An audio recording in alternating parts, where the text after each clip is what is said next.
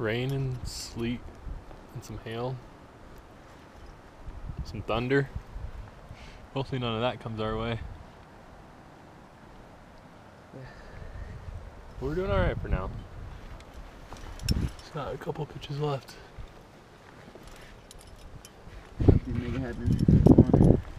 Yeah, he is.